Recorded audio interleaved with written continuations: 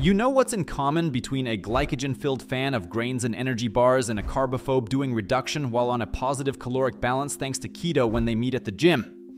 Proteins. No matter what approach to nutrition you are currently fascinated with, you can't not pay attention to such ingredient of your diet as protein. Plenty of us feel gains at the very sound of this wonderful word. There is nothing strange about that. One of the main roles of protein in the human body is the building function, which translates to such things as regeneration of muscles, especially those overused during intense strength workouts, the side effect of which are actually bigger muscles. Among the less quoted facts, protein amino acids, by working like antibodies, also influence our immunity. They are also used by the body to remove toxins, and their contribution is visible in nearly all of the body's metabolic processes. They participate as enzymes in catalyzing different types of transformations in the body. They transport hemoglobin, which carries oxygen. As receptor proteins, they participate in carrying nerve impulses. Despite such crucial role in the body and the topic being relatively well researched, to this day there are many myths reinforced in people's consciousness. Although it is 2023, plenty of people still believe that we only absorb 30 g of protein from a single meal, or that if you don't consume proteins every 3 hours, you enter catabolism, or that only animal-sourced proteins count in the balance of a well-planned diet.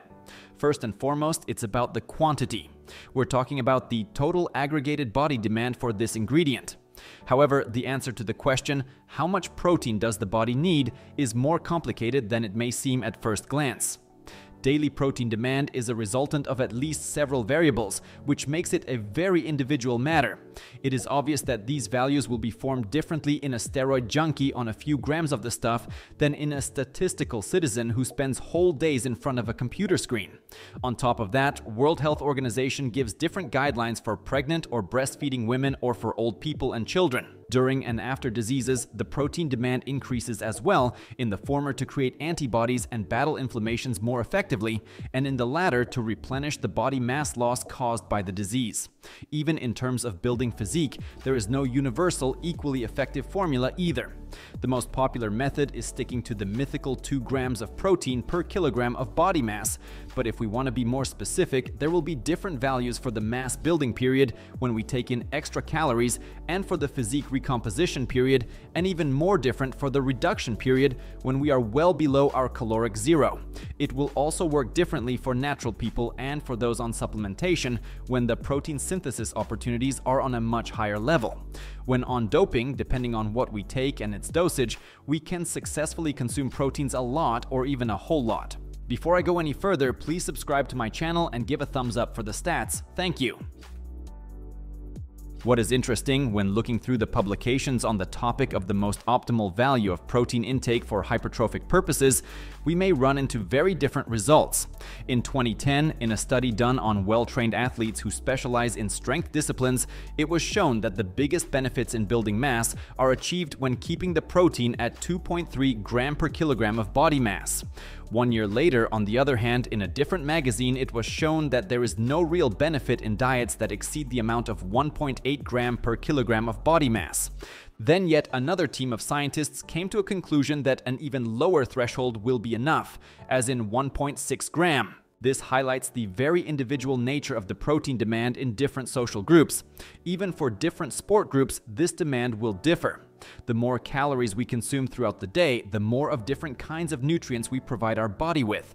In such case, the body can rely on a different fuel than protein to function, and proportionally a bigger share of it from the food may be used to synthesize new proteins.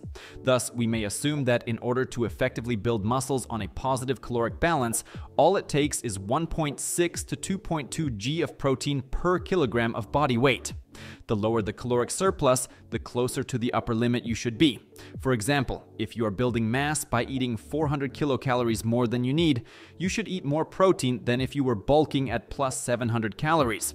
If you are a beginner and still have a relatively low lean body mass level in your general composition, you can easily go with lower values as in around 1.6, 1.8 g of protein per kilogram of body mass. In order to build mass, you also need much less extra calories. Going further down that path, the less calories you consume, the smaller the fat and glycogen reserves for your body to use. Once it runs out of them, it will turn to the energy stored in the protein of your muscles.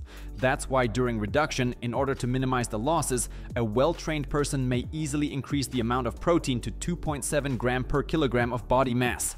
An additional advantage of high protein intake while on reduction is the fact that it is very effective at blocking the appetite. And even in case of a study on very obese individuals, preparing them a diet that provides one third of the daily calories from proteins reduced their midnight snacking tendencies by 50% on average. I may now surprise plenty of you, but your body is able to absorb much more than 30 g of proteins per meal.